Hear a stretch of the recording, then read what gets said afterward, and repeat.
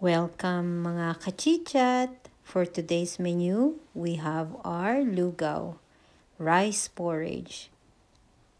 Ayan, simple and easy recipe for every weather. Malamig, mainit, masarap. So, ayan, meron tayong uh, mga ingredients na kakailanganin. So, kailangan natin ng 2 cups of rice. Meron tayong spring onion to garnish, garlic and ginger. At meron tayong oil, pepper and salt, and syempre ang ating patis. Yan, mag-heat tayo ng uh, mantika. So, make sure the oil is hot. And then we can put our garlic. Just stir.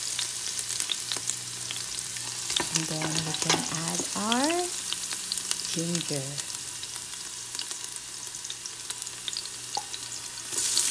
I really like to use ginger kasi um, the flavor is really good. Masarap talaga ang ginger. Especially it's good for our sa lalamunan din natin. Yan. And then let's add pepper.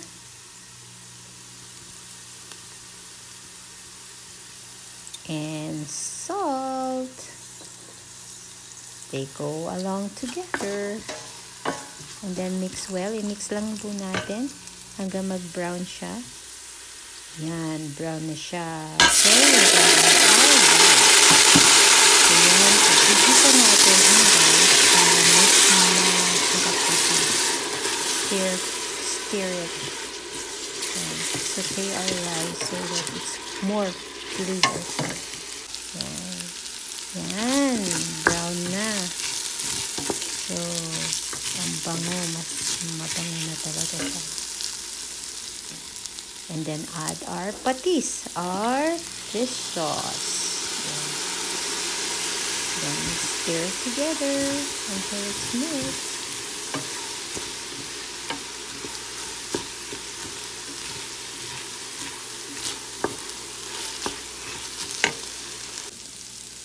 Then we're ready to add the water.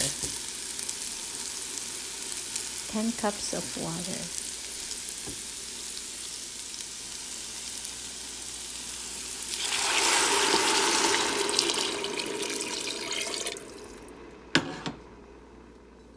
We'll just need to mix it.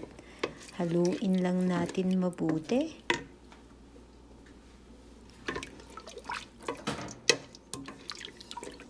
So, 10 cups of water yung kailangan natin ilagay. Yan, more water tayo.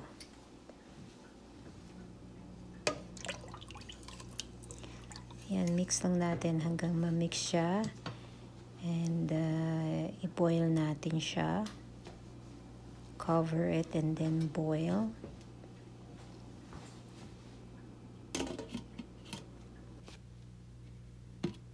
So, there you go. Kumukulo na siya. Then, make sure to stir it para hindi masunog.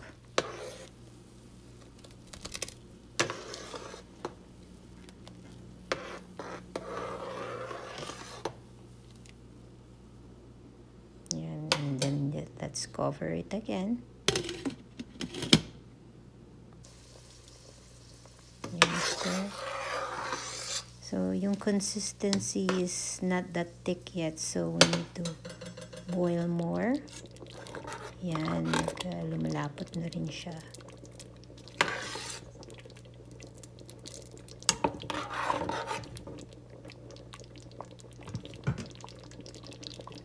Yan. Looking good na talaga siya.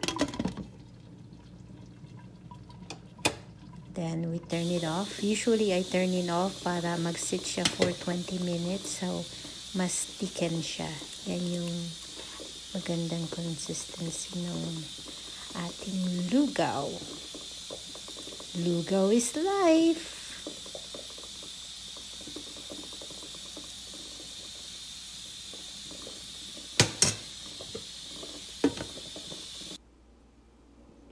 And we're ready to serve.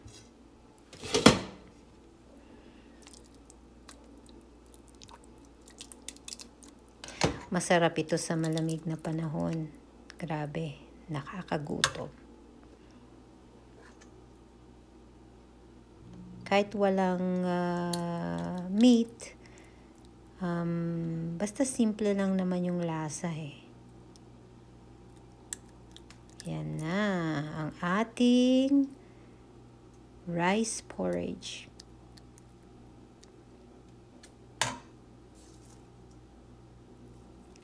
Then we'll add some garnish, spring onion, and um, nag-boil din ng egg. So yan, mayroon tayong egg, and meron din tayong fried garlic. So yan ang ating lugaw.